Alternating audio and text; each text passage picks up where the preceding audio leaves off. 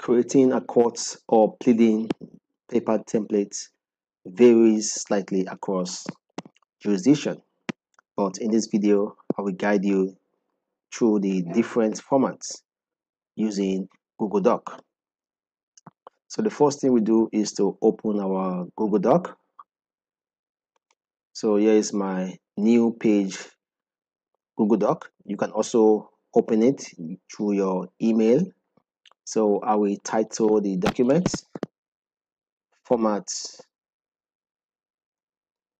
for pleading document.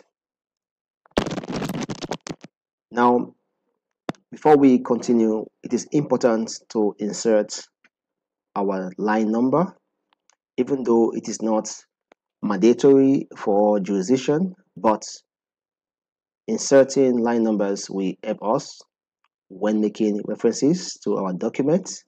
To insert line number, we click on the tools, then click on line numbers. Right here, you click on show number line or show line number and click on restart on each page also ensure that it is applied to all or to, and to the entire document next you ensure that it is double space. So you come right here click on these three dots click on line spacing the double. Now we can just click on enter. One two three four five. To 25 so we are creating a 25 line number. So to go to the next page you click on page break I will use control enter. Again we continue. 25 25 again control enter. That is our page break. Then we'll continue again. Depending on the number of pages that you have for your court papers. So that is it. So that is how we create our line number for a court or a pleading document. So the next step is to ensure that the margins are one inch on all sides. To do that we click on file then click on page setup. So just ensure that the margins are one inches on all sides and also that it is applied to the whole document so okay. So now we start. The first thing we do on our court paper is to write the title of the court. So at the top of the document you write the name of the court for example in the United States States District Court for example for the right here you can put the district name. Right here. District. Then right here you insert the state name. So this title should be centered. So I will I will highlight it and come right here. Click on center align. And again you can bold it. So that is the uh, title of the court. What comes next should be the case caption. Below the title the case caption is centered or aligned left listing the names of the plaintiffs and defendants followed by the case number so for this example i will use john mark john mark as the plaintiff. Then versus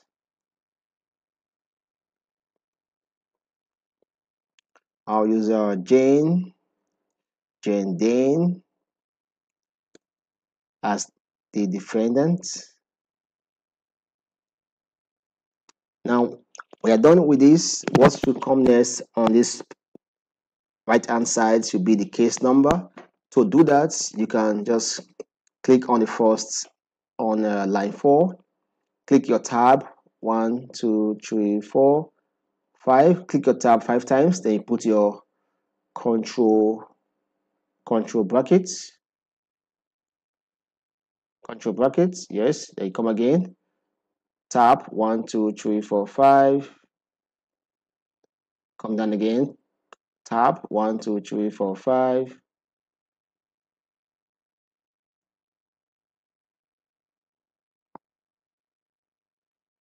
One two three four five. Tab next. One two three four five.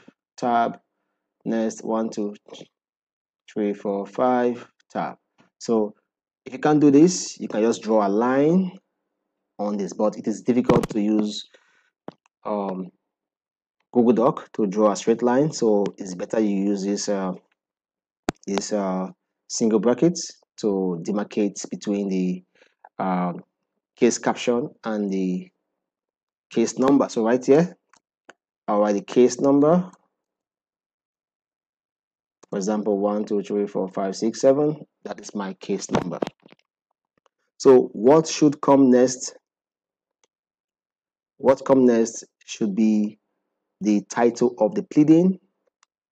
So the title of the pleading should be centered and written in bold. For example the title for the pleading is for example complaint for damages so this should be in bold. So I will I will highlight it. I will bold it. Then I will come come right here for more. Click on the align. Then I will center it. So that is the title for the pleading. So what comes next basically should be the uh, the body of the document. So what comes next should be the body of the document. You can type as much as you want to type. Depending on the document this can go to more than two four five seven pages depending on the case you are working on. After you are done with the body of document what come next should be the dates. So you can put the dates after the the document so i'll put the date right here. Put the, the date right here. Then next should be the signature block. This include a block for the attorney's signature, the name for the attorney, the address, the phone number, and the bar number. So after the dates, what comes next should be, for example, you can write respectfully submitted.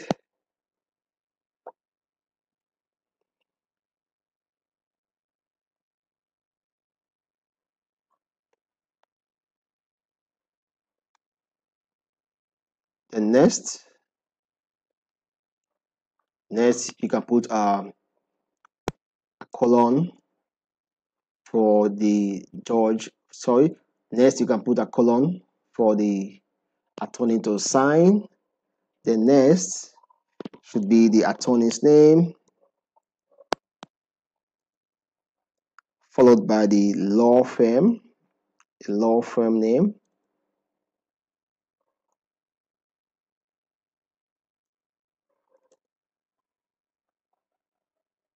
Followed by the the address.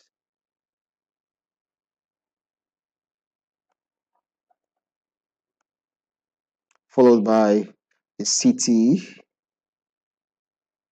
city and state. Then the the bar number.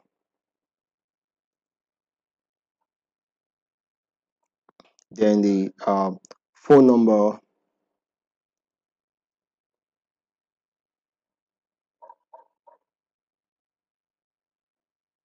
next is the address um yes the email address.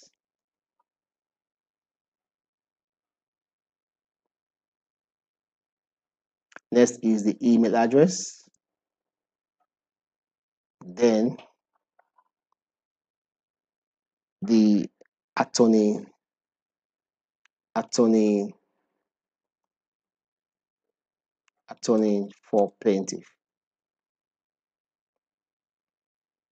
next is lastly is the attorney for plaintiff. So this is how you um, write the signature block. Then this should be aligned to the right so I, I will just alight everything right here. And I will press my tab.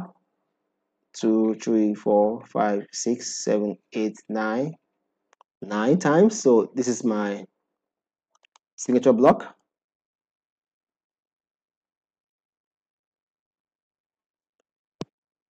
So this is my signature block.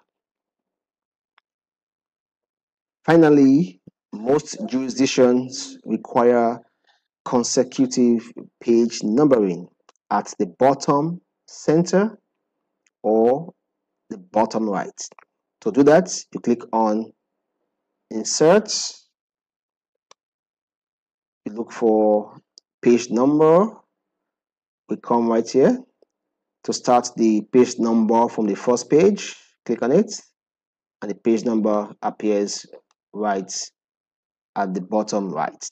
So this is how to format a court or pleading document.